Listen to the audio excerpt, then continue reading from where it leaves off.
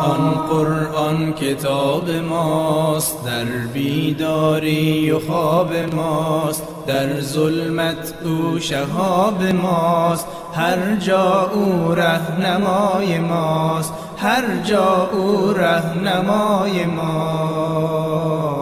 هر کس قرآن بخواند روحش زنده بماند بیاری خداوند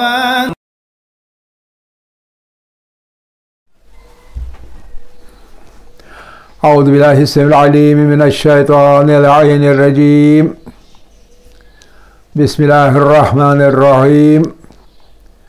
الحمد لله نحمده ونستعينه ونستغفره ونستهديه ونؤمن به ونتوكل عليه ونصلي ونسلم على رسوله الكريم وأهل بيته الطيبين الطاهرين. اللهم صل على محمد وآل محمد وعجل فرجهم. رب اشرح لي صدري ويسر لي أمري واحلل عقدة من لساني يفقه قولي. رب يسر ولا تعسر وتمم بالخير. آمين يا رب العالمين. عزیزان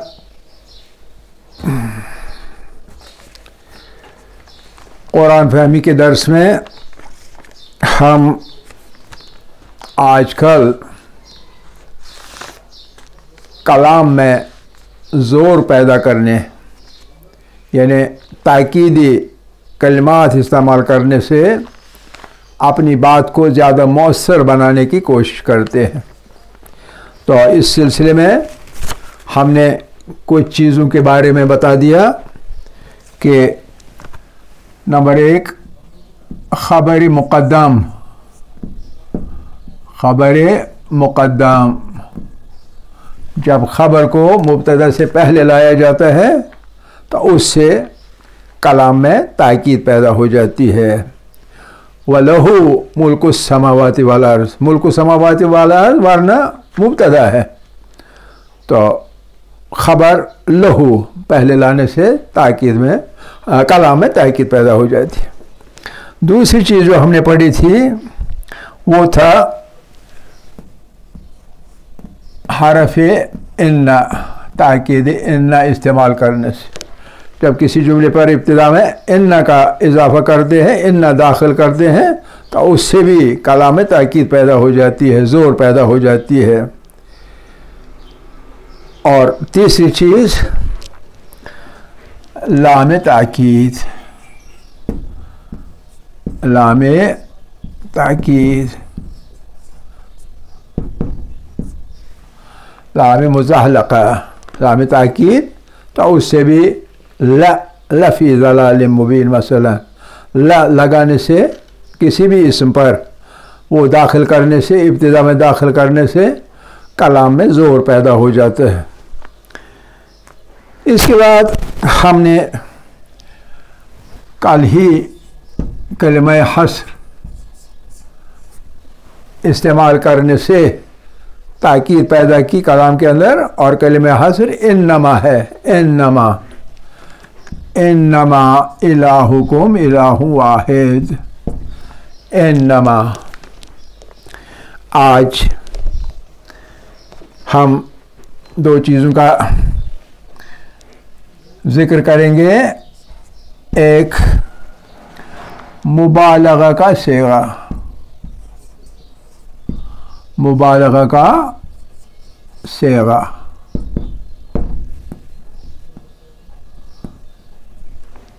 اسم کے سیغے ہوتے ہیں، جیسے فعل کے سیغے ہوتے ہیں، اس طرح اسم میں بھی مختلف سیگے بنتے ہیں، خاص کر صفت کے۔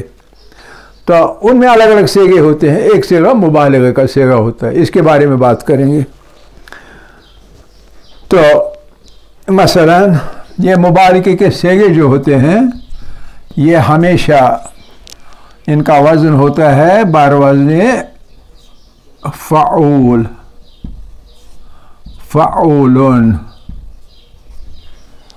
وزن ان کا ہوتا ہے فعول پر۔ فعول، فعل کے مختلف سیگے بنائے ہوئے ہیں۔ ہر جگہ جب وزن بتانا ہو تو اسی لفظ سے وزن بتایا جاتا ہے۔ لہذا فعل سے فعول فعول ایک سیگا ہوتا ہے مثلا فائل فائل، کام کرنے والا فائل۔ اس میں فائل فائل ہے کام کرنے والا۔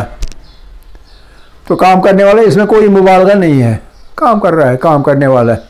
جب ہم کہیں گے فعولون جب ہم کہیں گے فعولون فعولون کا مطلب ہے بہت کام کرنے والا یعنی مبالغہ پیدا ہو جاتا ہے۔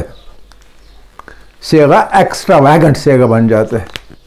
یعنی بہت زیادہ جس سے مطلب ہوتا ہے بہت زیادہ۔ مثال کے طور پر، غافر غافر غافر بخشنے والا۔ غافر۔ اللہ غافر ضمب اللہ گناہوں کا بخشنے والا ہے۔ سمپل پازیٹو ایک ہی ڈگری اللہ گناہوں کا بخشنے والا ہے۔ اللہ غافر ضمب غافر الزمب اللہ غافر الزمب پھر اگر ہم کہیں گے اللہ غفور۔ اللہ غفور۔ غفور. تو وہ ہم نے سیگا جو استعمال کیا، وہ اب بغیر مبالغے کے نہیں ہے، بلکہ اب مبالغے کے ساتھ ہے۔ اس کا مطلب ہے، یہاں تو مطلب تھا اللہ غافر الزمب اللہ گناہوں کا بخشنے والا ہے۔ ایک نارمل کلام۔ لیکن یہاں جب ہم کہیں گے اللہ غفور، اس کا مطلب ہے اللہ بہت بڑا بخشنے والا ہے۔ ادھر خالی بخشنے والا ہے۔ اور یہاں اللہ بہت بڑا بخشنے والا ہے۔ تو مبالغے سے یعنی یہ سیغہ پیدا کرنے سے کلام میں شدت پیدا ہو گئی، زور پیدا ہو گیا۔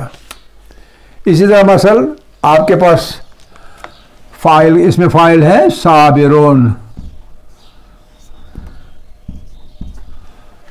صابرون۔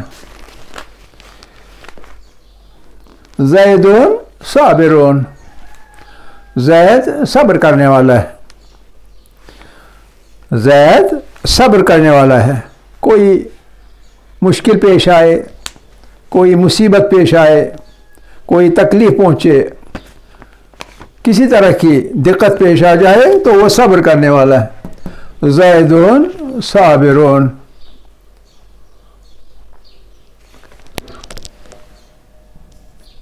زیدون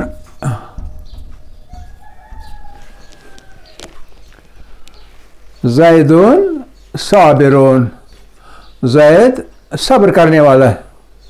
یعنی عام طور پر صبر کرنے والا ہے نارملی مشکل پیش آئی، صبر کیا، کوئی پرواہ نہیں۔ ہاں کوئی کوئی کوئی نہیں ہے۔ میں نے سنا آپ کو سر درد ہے، زید؟ ہاں ہاں سر درد ہے، کوئی بات نہیں، ہوتا رہتا ہے۔ یعنی عام طور پہ صابر ہے۔ اب ہم کہیں گے اس کے مقابلے میں مثلا زیدون صبورن۔ زائدون صبورن۔ اس کا مطلب کیا ہے اب؟ اب اس کا مطلب ہے یہ کہ زید پہ بڑی بڑی مشکلیں آ گئی۔ بڑی بڑی مصیبتیں پڑ گئی۔ بڑی بڑی صعوبتوں میں گر گیا۔ لیکن وہ بڑا صبر کرنے والا ہے۔ بڑا صبر کرنے والا ہے۔ اس پہ کوئی فرق نہیں پڑتا۔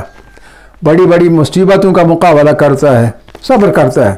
یعنی بہت بڑا صبر کرنے والا ہے۔ تو اس طرح سے اس وزن پہ جو بھی سیگے ہوں، خاص طور پر اس میں صفت کے،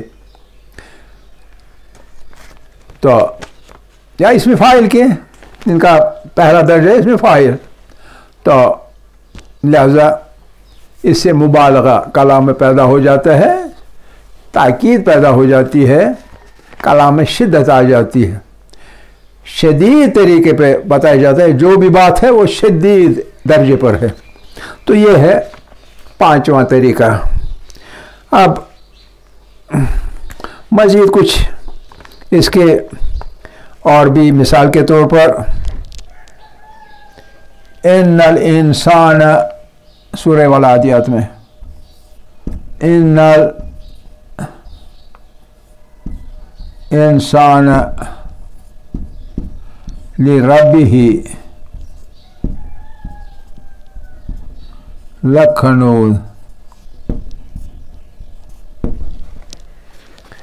ان نل انسان ایک تاکید ان سے بتا دی بے شک انسان لرب ہی اپنے رب کا۔ لکنود نا شکر ہے۔ کنود نا شکر ہے۔ اب لام لگانے سے مزید شدت پیدا کر دی۔ اصل میں کنودن ہے۔ کنودن فعول ان کے وزن پہ۔ فعول، غفور، صبور خنودن نا شکر ہے۔ لیکن یہ معمولی نا شکر نہیں، بہت بڑا نا شکر ہے۔ اللہ بڑی بڑی نعمت دے دیتا ہے، تب بھی نا شکر ہے خنود اور کوئی ایک شکور ہوتا ہے کنود کے مقابلے میں؟ شکور شکور ایک تو ہوتا ہے شکور کرنے والا عام طور پر۔ دوسرا ہے شکور شکور بہت بڑا شکر کرنے والا۔ معمولی معمولی باتوں پر شکر کرتا ہے۔ بڑی نعمتوں کی تو بات ہی نہیں۔ چھوٹی چھوٹی نعمتیں معمولی معمولی نعمتیں محض سانس لینے اور چھوڑنے میں اس پہ بھی شکر کرتا ہے۔ معمولی معمولی بات پر شکر کرتا ہے۔ ایسا بندہ جو ہوگا، ایسا بندہ شکور ہے۔ اور جو کسی ایک نعمت کے مقابلے میں آپ کچھ اسے آسن سلو کریں گے تو عام طور پر شکر کرے شکریہ جناب۔ لیکن یہ والا بندہ جو ہے شکور، یہ بہت زیادہ شکر کرتا ہے۔ اسی طرح کفور کفور۔ ایک تو کافر ہے، کفور انکار کرتا ہے۔ دوسرا کفور ہے کفور بہت بڑا کافر، بہت بڑا انکاری، منکر کرنے والا۔ یعنی کفر میں شدت کے سست کافر ہے۔ تو یہ چند ایک مثالیں باقی آپ، انشاءاللہ خود ہی آپ کو پتہ چل جائے گا۔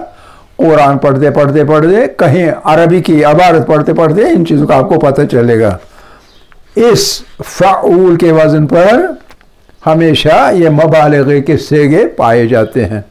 جہاں اس وزن پر سیگے ہوں، صفت کے فائل کے سیگے تو وہ سمجھ لیجیے گا، یہ مبالغے کے سیگے ہیں۔ اب یہاں ہم نے یہ اللہ غفورون اس پر اب چھٹی بات۔ چھٹا طریقہ کس چیز کا؟ تاکید پیدا کرنے کا۔ تاکید۔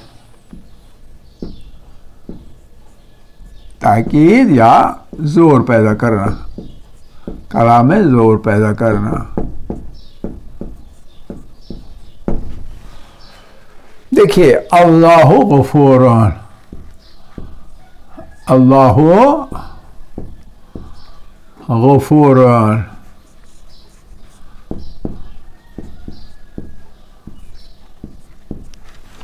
اللہ بخشنے والا ہے۔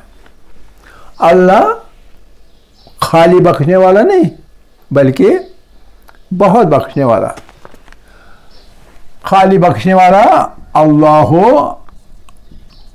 غافرون۔ ٹھیک ہے؟ یہ والا بغیر تاکید کے ہے، پہلا جملہ، اور یہ دوسرا جملہ تاکید کے ساتھ ہے۔ تاکید کے ساتھ۔ اب کبھی کبھی ایسا ہوتا ہے ہم چاہتے ہیں کہ اس میں زیادہ تاکید پیدا ہو جائے۔ عام طور پر کیا ہم کرتے ہیں اس صورت میں؟ مبتدا تو مبتدا ہے ہی۔ یہ جو خبر ہے، خبر نکلا ہے یہاں۔ اللہ غفور۔ نکلا ہے۔ ہم کبھی اس میں بھی معرفہ بناتے ہیں۔ الغفور۔ اللہ الغفور اللہ الغفور اللہ الغفور اللہ الغفور تو کوئی فرق نہیں پڑتا یہ بھی تاکیدی سے جملہ ہی ہے لیکن اس میں کبھی ایسا شک پیدا ہوگا کہ مبتدا خبر ہے لیکن کبھی شک پیدا ہوگا کہ یہ موصوف ہے اور یہ صفت ہے اچھی طرح سمجھ لیجیے اللہ الغفور اللہ موصوف ہے اور غفور اس ہونا اس کا صفت، اس کی صفت ہے۔ تو موصوف صفت ہے شاید۔ تو اس موصوف صفت جو یہ بن گیا، موصوف صفت کا، موصوف صفت کی مرکب توصیفی۔ مرکب توصیفی۔ ممکن ہے، پڑھتے پڑھتے ہمیں اندازہ ہو جائے کہ نہیں، یہ تو یہ تو جملہ نہیں ہے۔ یہ موصوف صفت ہے۔ تو اس صورت میں ہم کیا کرتے ہیں؟ ہم یہاں بیچ میں بیچ میں ایک زمین لاتے ہیں۔ ایک زمین لاتے ہیں یہاں بیچ میں، اس کو ضمیری صفت کہیں گے۔ ضمیر فصل کہیں گے۔ ضمیر فصل استعمال کرتے تاکہ ضمیر فصل کیا کرتا ہے؟ یہ فاصل کرتا ہے، دور رکھتا ہے، اس کو اور اس کو۔ اسے مرکب توصیفی کا گمان اس کے بارے میں پڑھنے والے کے ذہن میں یہ گمان پیدا ہونے نہیں دیتا ہے۔ تو پھر اللہ اللہ کے مطابقت میں وہ صفت ہونی چاہیے۔ یہ غائب کا سیگا ہے واحد، تو لہذا غائب کا سیگا واحد ہے، ہوا۔ پہلی بات۔ پہلی بات، غائب کا سیگا یہ بھی، غائب کا سیگا یہ بھی۔ دوسری بات، یہ مذکر اور یہ بھی مذکر۔ سمجھ رہے کہ نہیں؟ تو اس لیے اب کیا بنتا ہے جملہ؟ اللہ هو الغفور۔ اللہ هو الغفور۔ ضمیر فاصل نے، ضمیر فصل نے، جو کہ ضمیر فصل فاصل ہے موصوف صفت کے درمیان لانے سے اسے مبتدا اور خبر ہی رہنے دیتا ہے۔ مبتدا اور خبر ہی۔ اور یہ مبت موصوف اور صفت والا تصور ختم ہو جاتا ہے۔ ٹھیک ہے نا؟ اچھا۔ تو اس طرح سے جملہ بنانے سے بھی تاکید پیدا ہو جاتی ہے۔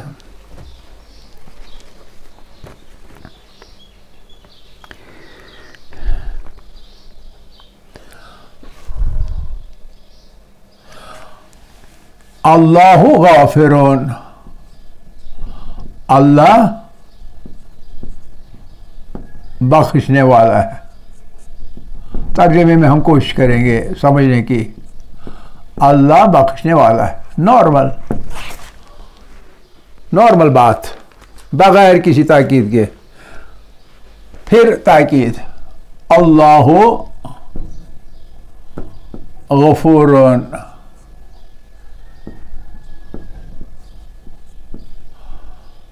اللہ بڑا بخشنے والا ہے۔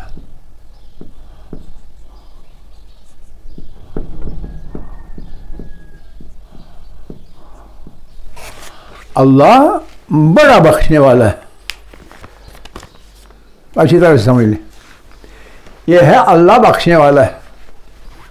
کبھی ہم بھی ایک دوسرے کو بخشتے ہیں ہم بھی بخشنے والے یعنی بغیر تاکید کے۔ لیکن یہاں بڑا بخشنے والا، بہت زیادہ بخشنے والا، تاکید پیدا ہو گئی۔ لیکن اب بھی تاکید میں دوسرا درجہ ہے یہ۔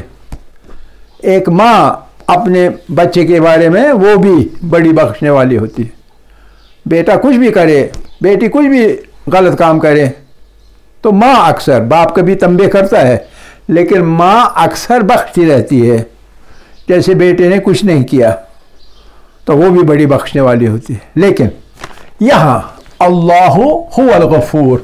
اس کے معنی اگر کرنے، ترجمہ ہم کرنا چاہیں گے تو اس کا ترجمہ بنتا ہے اللہ۔ اللہ ہی۔ بخشنے والا ہے۔ اللہ ہی بخشنے والا ہے۔ اور کوئی بخشنے والا نہیں۔ اب تخصیص ہو گئی۔ مخصوص ہو گئی بخشش اللہ کے ساتھ۔ یعنی جتنا اللہ بخشنے والا ہے، اتنا اور کوئی بخشنے والا نہیں ہے۔ اب ماں بھی اتنی بخشنے والی نہیں رہی جتنا اللہ بخشنے والا ہے۔ اسی لیے ہم کہتے ہیں کبھی کبھی کہ اللہ ماں باپ سے بھی زیادہ بھی، ماں باپ سے بھی زیادہ بندے پر مہربان ہوتا ہے۔ تو یہ میں نے پیدا ہو گئے بیچ میں ہوا لگانے کے مبتدا اور خبر کے بیچ میں ہوا لگانے سے یہ معنی پیدا ہو گئی۔ اللہ هو الغفور، اللہ ہی بخشنے والا ہے اور کوئی بخشنے والا نہیں۔ یعنی اللہ جتنا بخشنے والا ہے اتنا اتنا، اور کوئی بخشنے والا نہیں ہے۔ تو یہ والی تاکید جو ہے، ان سب اس اس والی تاکید سے بھی زیادہ بن جاتی ہے۔ تو ایک جملہ مزید مثال بتانے کے لیے مثلا اولائکا اولائکا اولائکا ضمیر ہے، ضمیر متوسط ہے۔ یہ اشارہ، اس میں اشارہ متوسط ہے۔ نہ اس میں اشارہ بعید ہے نہ اس میں اشارہ قریب ہے دونوں معنی میں استعمال ہو سکتا ہے۔ اولائکا مثلا صادقون۔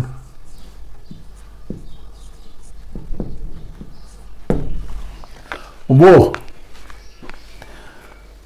صادق ہیں۔ یا یہ صادق ہیں۔ اب یہ والا فارمولا استعمال کر کے اس کا ہم یوں جملہ بنا سکتے ہیں۔ أولئك أولئك الصادقون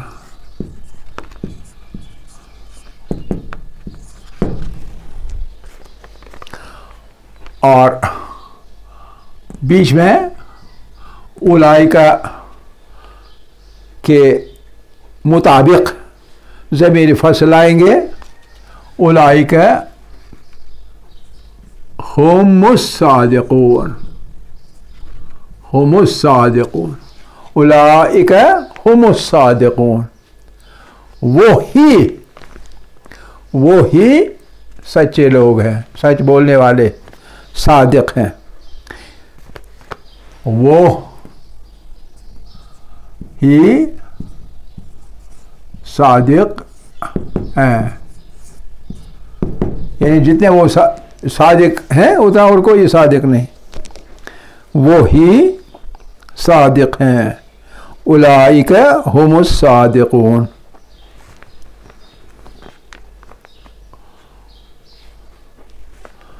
میرے خیال میں آپ کے بات سمجھ میں آ چکی ہوگی ہاں؟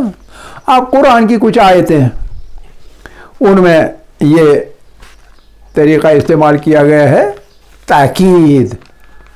تاکید بہت زیادہ تاکید جی بہت زیادہ پیدا کرنے کے لیے۔ مثلا، ولا تکونو کل لدین نسلہ ایسے مت بنو جو اللہ کو بھول جاتے ہیں۔ ولا تکونو مت بنو۔ کیسے؟ کل لذین ایسے جنہوں نے خدا بولا ہے۔ اور اس صورت میں کیا ہے؟ فانسا ہوم انفس ہوم انہوں نے اصل میں اللہ کو بولا نہیں، بلکہ اپنی ذاتوں کو بولا ہے۔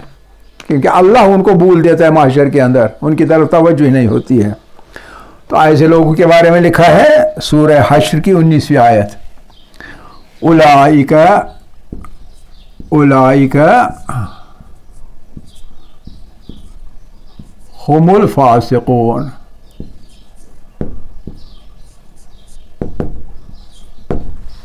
اولائک هم الفاسقون۔ ایسے لوگ ہی فاسق ہیں جو کہ اللہ کو بھول جاتے ہیں۔ اللہ کا ذکر نہیں کرتے ہیں۔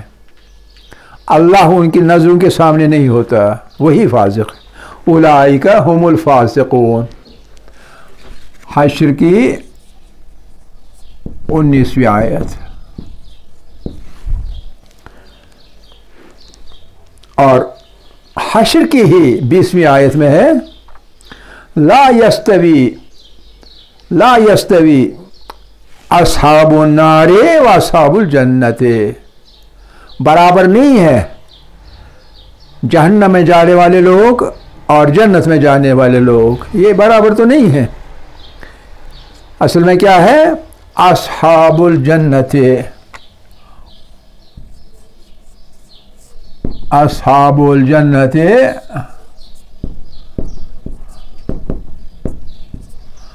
هم الفائزون۔ کامیاب بندے تو وہی ہیں جو جنت میں جائیں گے۔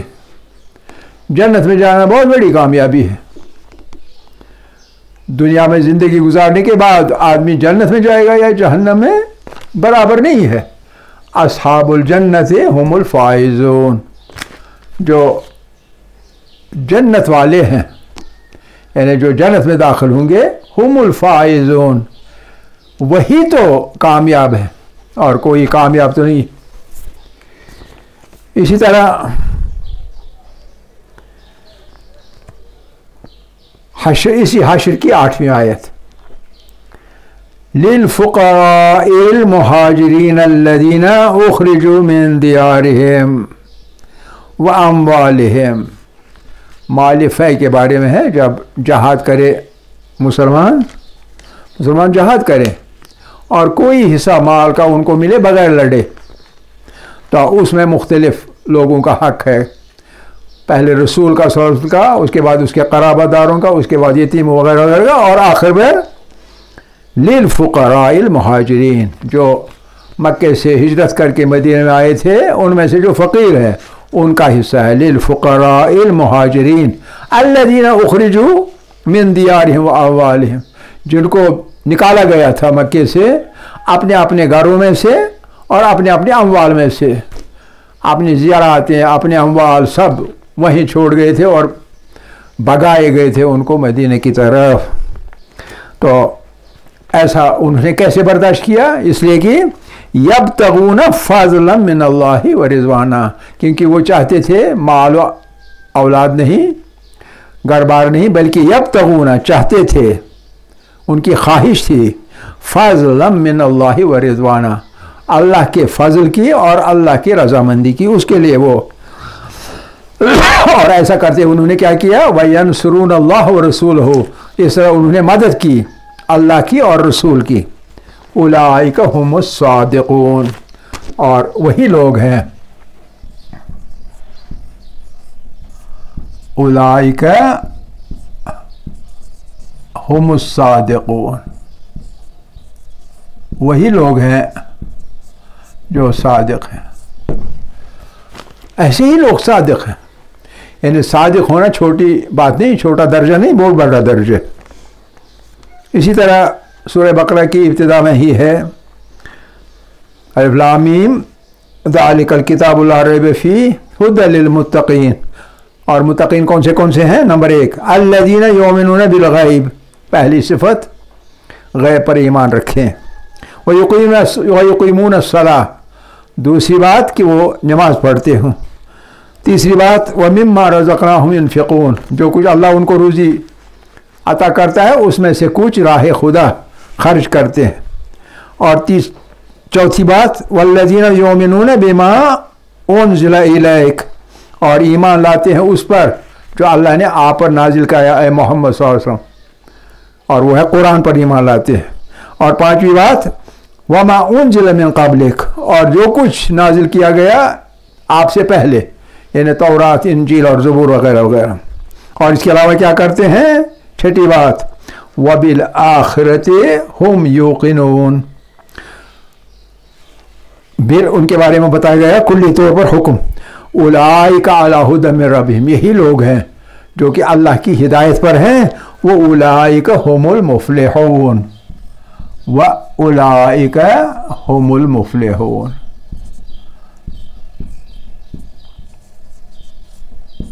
یہی لوگ تو ہیں۔ جو فلاح یافتہ ہیں۔ یہی لوگ یا وہی لوگ تو ہیں جو فلاح یافتہ ہیں، جن میں یہ پانچ چھ صفات ہوں، متقین ہی کو کہیں گے۔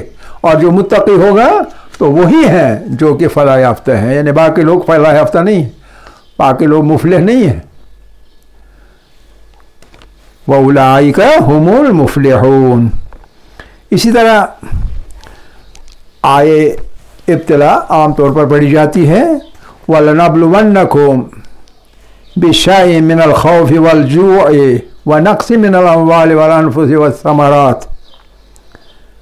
وبشر الصابرين الذين إذا أصابتهم مصيبة قالوا إنا لله وإنا إليه راجعون۔ أولئك عليهم صلوات من ربهم ورحمة أولئك هم المهتدون۔ أولئك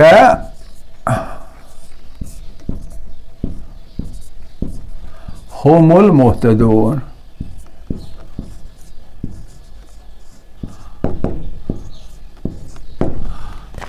وہی تو ہیں جو ہدایت یافتہ. وہی تو ہیں جن کی اللہ نے ہدایت کی ہوئی ہے. تو اس کے ساتھ مجھے لگتا ہے کہ آپ نے اچھی طرح سمجھ لیا ہوگا.